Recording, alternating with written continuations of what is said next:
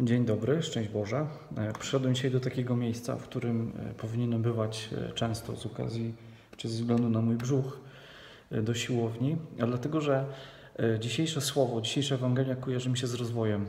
Pan Jezus mówi, że kto ma, temu będzie dodane, a kto nie ma, zabiorą mu nawet to, co mu się wydaje, że ma. I tak jest chrześcijaństwo, że ono nas uczy tego, żebyśmy się rozwijali na każdym poziomie fizycznym, psychicznym, duchowym, e, na poziomie naszej modlitwy, naszej pracy i tak dalej. A więc e, to jest zasada taka ogólna, to co Jezus mówi, że zresztą widzimy to w naszym życiu, że kiedy się rozwijamy, kiedy chcę się zmieniać, kiedy się edukuję, kiedy ćwiczę, e, to wyglądam, to mam kondycję, to wiem więcej, potrafię sobie znaleźć lepszą pracę i tak dalej. Czyli potrafimy y, korzystać z tego, a więc jest nam dodawane.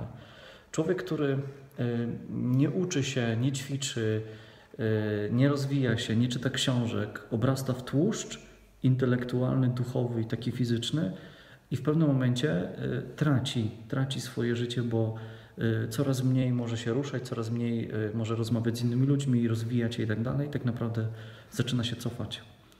Dokładnie tak samo jest z naszą duchowością że jeśli jesteśmy ludźmi, którzy prowadzą życie duchowe na zasadzie odtwarzania pewnych schematów, których nauczyliśmy się w przedszkolu czy w szkole podstawowej, wtedy one były super dobre dla dzieci, ale nie idziemy dalej, nie chodzimy na siłownię ducha, to wtedy się cofamy. Wtedy nasza religijność, nasza wiara staje się czymś bardzo infantylnym, nie wiem czy to po polsku jest, yy, staje się czymś, co jest po prostu bardzo, bardzo dziecinne i nie daje nam żadnej, yy, żadnego rozwoju i nie ma w nas więcej, bardziej, mocniej.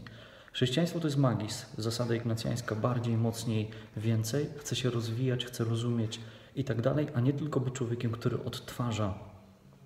Pan Jezus te słowa powiedział do faryzeuszów w bardzo konkretnym kontekście.